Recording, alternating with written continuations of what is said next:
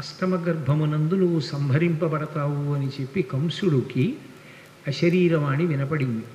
అప్పటి నుండి ఆయన దేవకీదేవి యొక్క గర్భమునందు జన్మించినటువంటి ప్రతి శిశువుని సంహరిస్తూ వచ్చాడు.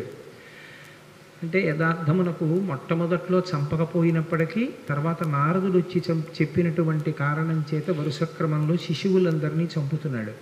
కృష్ణుడు పుట్టాడు. పిల్ల ఏడిచింది. కంసుడు లేచాడు. పరిగెత్తుకెళ్ళాడు.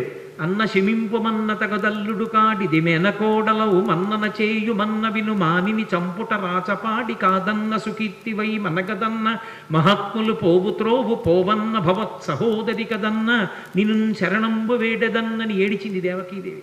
అన్న అన్న అన్న అని పది మాటలు పిలిస్తే మనసు కరుగుతుందేమో అనుకుంది పిచ్చి తల్లి. అన్న శమింపు మన్న తగదల్లుడు కాడిది మెనకోడలవు మన్నన చేయు మన్న నిను మానిని చంపుట రాచపాడి కాదన్న సుకీర్తివై మనగదన్న మహాత్ములు పోవు త్రోవ పోవన్న భవత్ సహోదరి గదన్న అని అన్ని మాటలు అన్నయ అన్నయ అన్నయ అని ఏడిచింది. అయినా బలవంతంగా పిల్ల కాళ్ళు పట్టుకొని లాగేసి గిరగిరా తిప్పి ఆ పిల్లని బండకేసి కొట్టబోయాడు.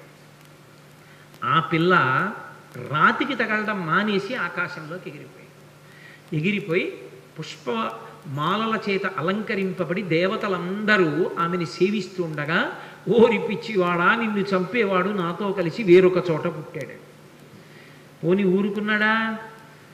ఇంకా పళ్ళు రాని పిల్లలు పాలు తాగుతున్న పిల్లలు ఎక్కడెక్కడున్నారో వాళ్ళందరినీ చంపేయమన్నాడు అక్కడ ప్రారంభమయ్యాయి కృష్ణలీలలు.